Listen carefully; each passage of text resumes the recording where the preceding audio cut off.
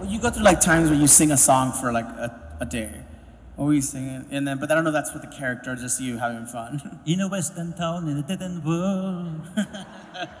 East End boys and West End girls. I mean, I think any kind of Nandor karaoke would be quite funny. God, give me That something to funny. sing.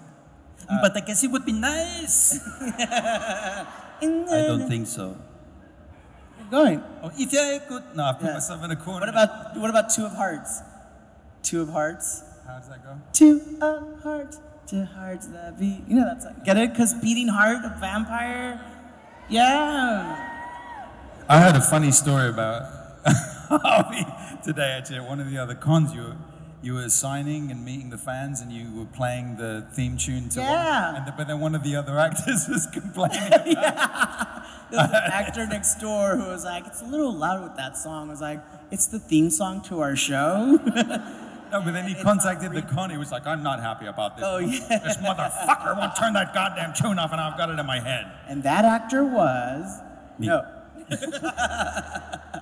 um, I, I can think for Guillermo. I think he goes through different songs every season. Um, so yeah, I think last season um, it was like he was helping with the wedding and he was helping with your wedding and your fiance.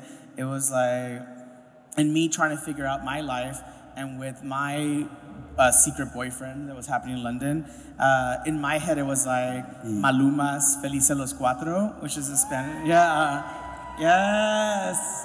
So in my head it was that song because I was like, I'm gonna make this work. You're gonna be happy with her. I'm gonna be happy with him. We're gonna be happy the four of us. So that was the translation. Yes. So there you go. I mean, I keep asking Paul, and like recently, he's fallen in love with mariachi music. He was telling me, yeah, and I was like, you should do, it. and he's like, maybe, I don't know, maybe. Um, so we don't know. I would love to do it. I feel like everyone has sang at some point in the show except for Guillermo.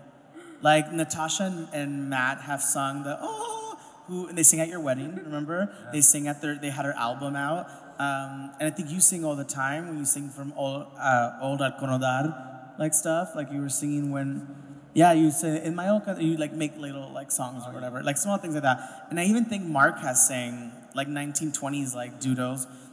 I don't think uh, Guillermo has sang yet, so that's a good. Who would like to hear Guillermo sing? All right, we'll pass it along to Paul. We'll pass it along to Paul. Thank you so much. Thank you.